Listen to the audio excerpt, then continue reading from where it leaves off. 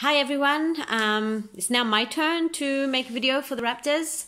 Um, so the first question is, what's your name and what do you do at the Raptors?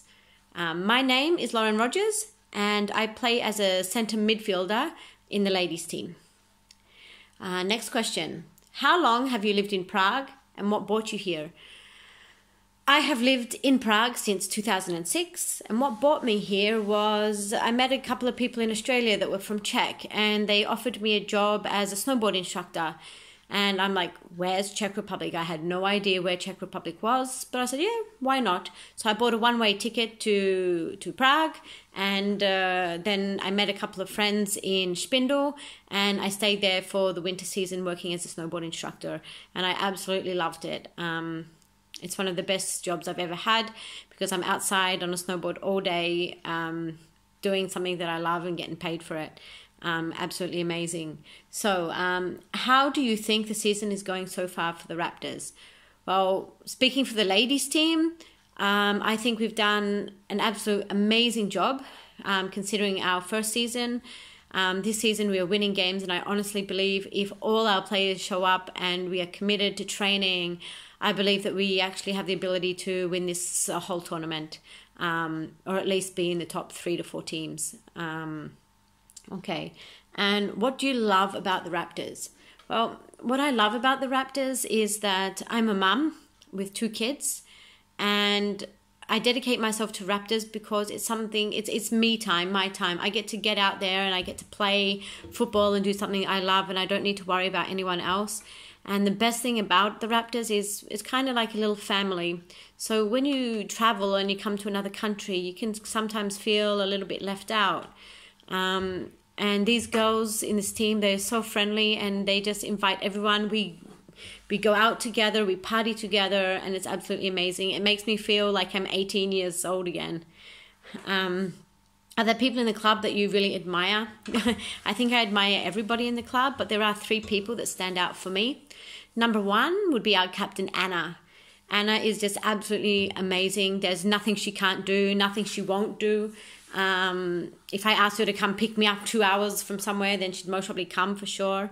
Um, she just keeps the team organized, and she, she's our rock. She keeps us together, and um, and I've every time I see her, she's always smiling. Um, the next one I'd like to point out is Lewis, our coach. He gives up his time freely to come and coach us, and he really looks at what we need to improve on, and he he finds whatever activities he can to really help us improve in the areas that we need to. And I know we don't have enough time to focus on everything, and uh, two lessons or two coaching sessions a week would uh, be ideal for us to achieve a lot more. Um, but he does it from the goodness of his heart. He's so patient with us, even though sometimes, you know, we see him holding onto his head going, oh no, you know. But um, he sticks with us and he's patient and he really um, pushes us to do our best. And number three is Martin. Um, he just takes the level up just one notch more. Like when we're off the bench, he's laying out these little towels. He makes sure all our um, water bottles are filled. He just he's like the the daddy of the team. And if anyone gets hurt, he's there to help them. He's got his little spray to spray on ankles, and you know um, it's really handy having him there. So thank you, Martin. Um, what's the next one? Um, who is the funniest in the dressing room? Hands down, that goes to Tala. Even if you have a look at her um, video that she's posted, you can see she's she's funny. She makes everyone laugh, and without her, Raptors wouldn't be the same. So come on, Tala, get yourself ready and back into that change room, and back onto the field so we can, um, you know, have your spirit around us again.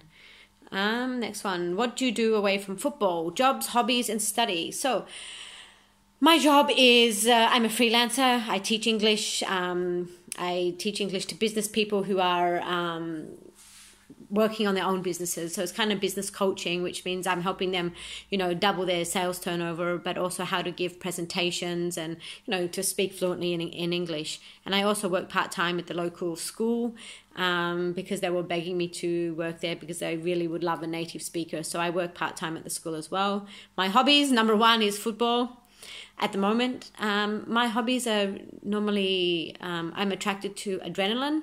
uh, hobbies, things like skydiving, bungee jumping, um, skiing, snowboarding, you name it. Anything that has adrenaline, I'm there for it. Um, motorbike riding.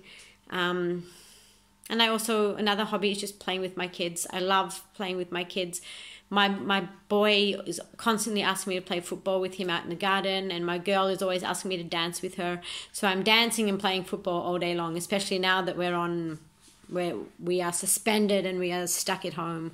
So how is the current lockdown situation affecting you and your loved ones?